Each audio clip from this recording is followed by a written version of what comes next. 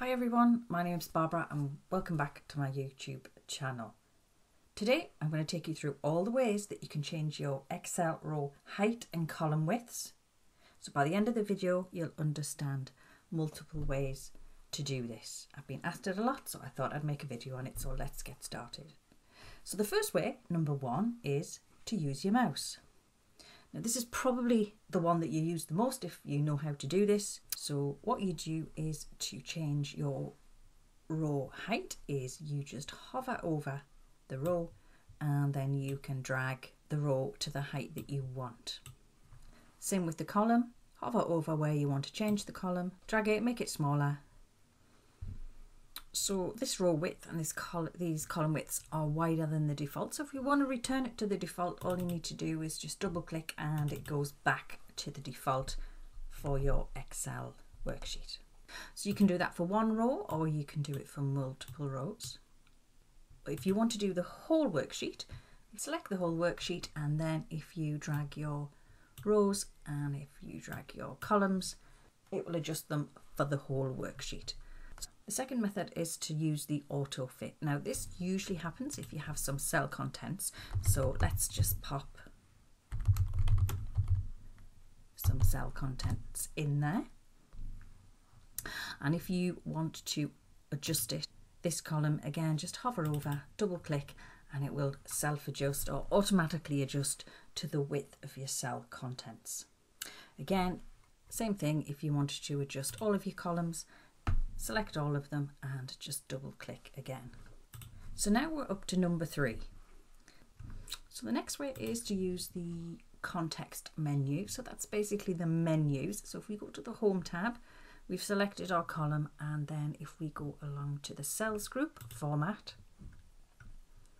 we can change the column width in here and we could actually specify uh, column width. And currently we're at 13.64 if we wanted to make that to 20 just hit 20 and hit OK. And you can see that's expanded it.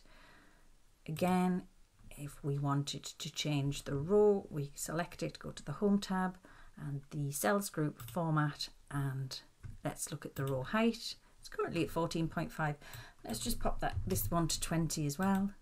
And that's widened that so all of the options that we're using are within the context menu. So if you go to the format and you can see row height, we can auto fit them or we can return them to the default width.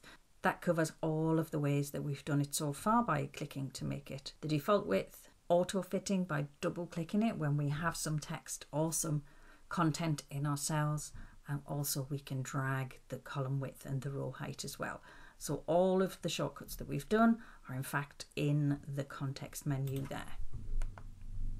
So number four, we can copy another column or row setting. So you probably know that if we copy and pasted this column into this column, we can go copy and paste. It will adjust, it will copy everything over, including the text as well as the settings for the column width. But let's say you just wanted to copy the column width, you can just hit copy,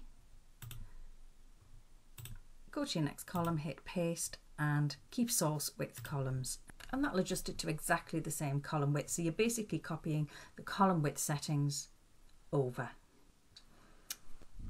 So the final way, number five, is to actually use just paste special and only paste the column widths.